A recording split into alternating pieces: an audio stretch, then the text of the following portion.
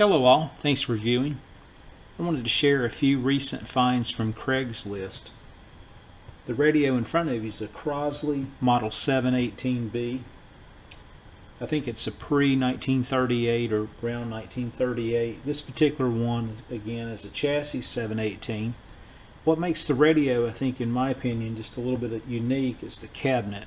I think the radio was produced in two or three cabinets. Uh, this particular cabinet is an 8H is in Henry. Uh, I think they referenced the radio as Modern 7. It does have a green eye tube, and I know the video is not that great, but uh, it's pretty cool. Again, it's five push buttons, and you see the three control knobs there, and the uh, beautiful louvered design of the cabinet. I think it's really, really neat piece. The veneer is separating from the top and a little bit on the side. And for those that have followed my videos, uh, you know I can handle that. So I'll put this on the old restoration list, and uh, maybe this spring or so I'll tackle the uh, the cabinet and also the electronic side. In addition to the Crosley 718, I also picked up this beautiful Simplex radio from 1932. It's a model PB. It's an old farm set. And I think I've got just a couple farm radios in my collection.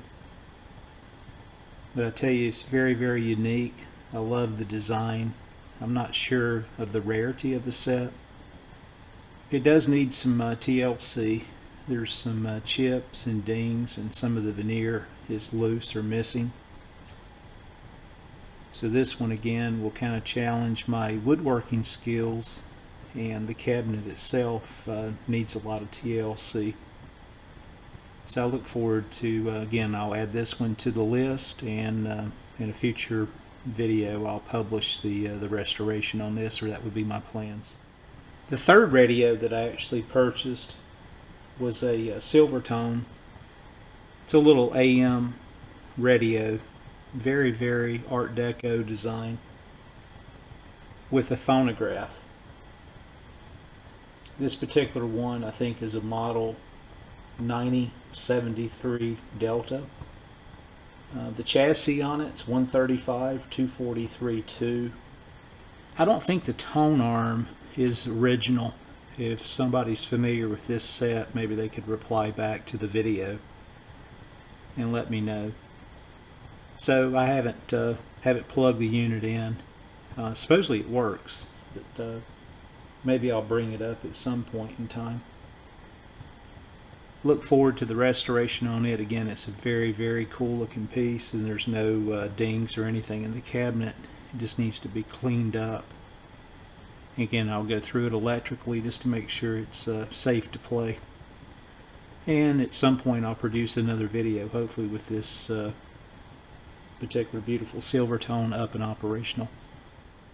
Another find as well is this beautiful Silvertone. It's a model 6050. I think it's from the 1940s.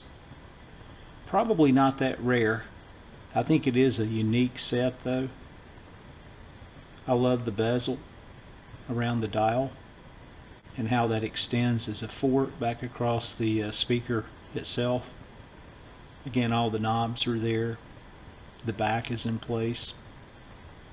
So I'm hoping this restoration itself, when I get ready to tackle it, will be straightforward.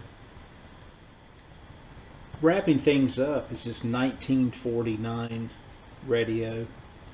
It's actually called the Tom Thumb. It was a bike radio very, very cool. It's made by Automatic, model B44. It has a wrinkle finish, kind of a uh, maroon, dark red.